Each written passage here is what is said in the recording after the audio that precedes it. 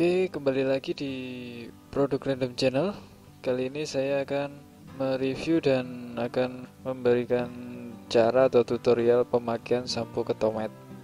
Oh, sebelumnya uh, yang belum pernah tahu sampo ketomet ini adalah sampo anti ketombe yang yang cukup uh, mujarab dan saya sudah membuktikannya sendiri dengan beberapa kali pemakaian sampo ini cukup ampuh dan terasa efeknya. Uh, di video sebelumnya saya sudah mereview tentang sekilas tentang sampo ketomet. Kali ini saya akan mereview lebih detail lagi teman-teman.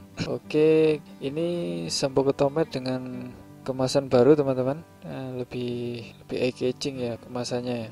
Oke, ini ini ada sedikit informasi di boxnya di sini oke ini ada sedikit informasi untuk pengobatan infeksi kulit kepala seperti der dermatitis siboroid ini diperuntukkan untuk uh, penderita ketombe yang sangat boleh dikatakan akut teman-teman. Jadi ketombenya sangat tidak wajar. Uh, yang saya alami ketombenya cenderung seperti kepingan kepingan apa ya? Ya ukurannya lebih besar daripada ketombe-ketombe yang orang lain alami.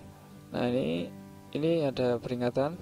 Peringatannya ada efek samping dan kontraindikasi. Ya bisa dilihat di brosur teman-teman. Oke kembali lagi di kita lihat di bagian yang lain.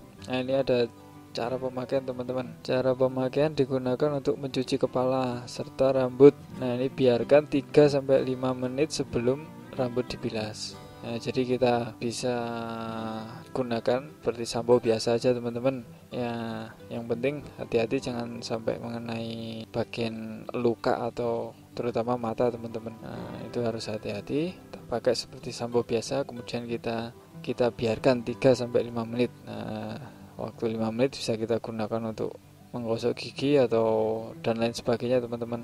Pokoknya kita diamkan selama 5 menit lah. Nah, ini ada ada aturan pakai teman-teman. Nah seminggu gunakan dua kali seminggu selama 2 sampai 4 minggu. Nah, selanjutnya satu atau dua minggu sekali kita gunakan hanya sekali saja. Jadi gini yang saya terapkan ini saya gunakan ketika ketombe masih terlihat parah. Itu kita gunakan dua kali dalam satu minggu teman-teman. Jadi bisa kita gunakan tiga hari sekali atau dua hari sekali Nah itu jangan sampai melebihi dari aturan paket. Kemudian kalau ketombe udah terasa efeknya sudah berkurang, maka kita cukup gunakan uh, di sini seminggu sekali atau dua minggu sekali teman. Gitu caranya. Oke, di sini ada terangan simpan di suhu di bawah 30 derajat, teman-teman. Oke, kita buka isi dalamnya. Oh ya, sebelumnya kebetulan ini saya beli di apotik. Harganya cuma 50.000 yang kemasan baru ini tidak tahu apa ada perubahan harga atau gimana. Sebelumnya saya beli 55.000 tapi kali ini dengan kemasan baru harganya 50.000 oke kita seperti apa dalamnya? Kita langsung aja unboxing teman-teman. Ini sampo-nya. Nanti saya akan tunjukkan perbedaan kemasan lama dengan yang baru teman-teman. Nah udah ada lagi ini ada brosurnya teman-teman. Di sini kita bisa baca-baca. Nah ini untuk untuk lebih jelasnya teman-teman bisa baca cara pemakaiannya sama. Kemudian peringatan peringatannya juga sekilas tadi sudah saya sebutkan.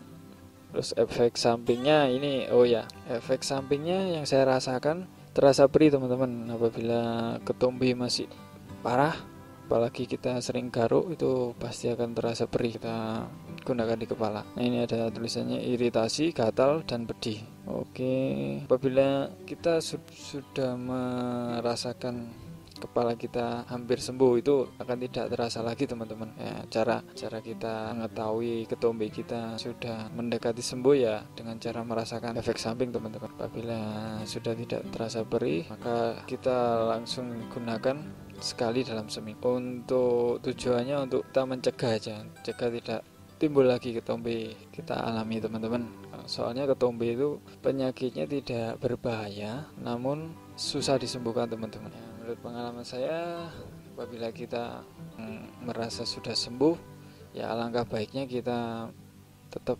menggunakan ketomet dua minggu sekali minimal untuk pencegahan tuh. Terus kalau efek samping lain yang katanya orang rambut rontok itu tidak terjadi yang tidak terjadi pada saya teman-teman. Saya alami baik-baik saja. Oke ini brosurnya udah tidak ada lagi dan ini kemasan barunya teman-teman. Oke nanti kita bandingkan dengan kemasan lama teman-teman. Oke dan di sini sama tulisannya dengan yang ada di box. Teman-teman bisa baca aturan pakainya. Nah jangan lupa ini lihat tanggal expirednya. Oh ini kalau di botolnya tertera harga eceran harga eceran tertinggi 55.000 teman-teman. Tapi saya tadi beli hanya hanya 50.000 aja ini.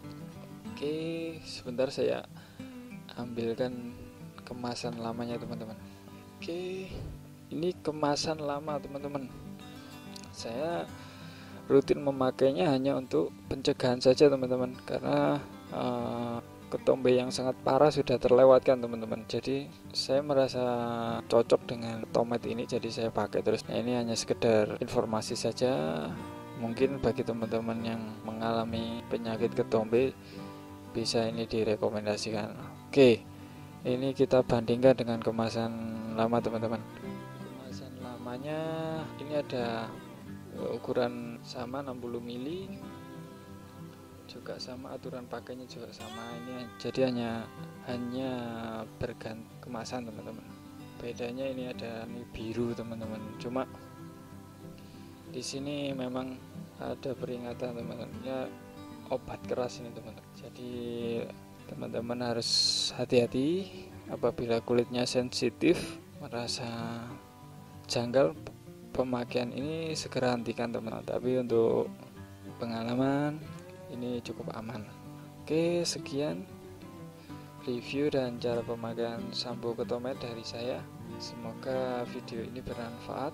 Semoga teman-teman yang mengalami penyakit ketombe juga bisa merasakan kesembuhan teman-teman. Jika kalian suka dengan video ini silahkan like, comment, dan share teman-teman. Jangan lupa like dan subscribe untuk melihat video-video berikutnya dari produk random. Dan sampai jumpa. Terima kasih.